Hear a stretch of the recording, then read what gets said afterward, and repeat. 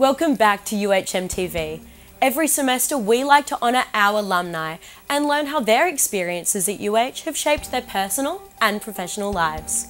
Recently, Donovan Turqueza had a chance to sit down and talk story with a distinguished alum who happens to be a decorated military veteran. Major General Robert Lee achieved the highest ranking title in the Hawaii National Guard before retiring in 2011. During his nearly 40 year career in the military, he wore many hats. He served as a nuclear engineer at the Pearl Harbor Naval Shipyard and as Homeland Security Advisor to Governor Lingle.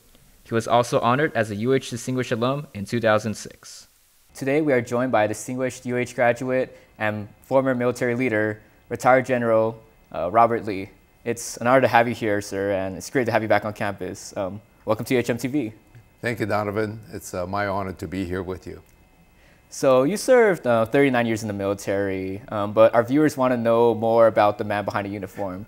Uh, could you share a little bit about your background, your childhood, maybe where you were born and raised? Donovan, uh, I'm kind of a local kid, uh, raised in the public schools, uh, elementary, intermediate, high school at McKinley High School, and then to a public university like the University of Hawaii. And uh, that experience has um, certainly, I think, grounded me why stay in Hawaii? Why UH Manoa? So after graduation from McKinley High School, unfortunately, uh, during that time, the Vietnam War uh, was going through, and we all knew we had it to serve. We needed to serve our, our country. So many of my classmates says, well, let's, since we're going to the University of Hawaii, let's uh, join up at their ROTC program so maybe we can make a difference as an officer in the United States uh, Army. People know you by many titles and awards, uh, but in your opinion, what are you most known for? At this stage of my life, it's grandpa with, the, with, with, with the grandkids. But I think um, my uh, last position as Adjutant General in the state of Hawaii, uh, I, um, I'm grateful that I had the opportunity. I've got to thank um, the original members of my, the, my regiment, the Go For Broke Soldiers, the 442nd uh, Regimental Combat Team, and in particular Senator Daniel Inouye. So what inspires me personally about you is you're uh -huh. a uh-huh. person of color that worked up the ranks, earned his rank uh -huh. in a majority um, white male-dominated um, corps. Um, has, has race ever affected your career in any way?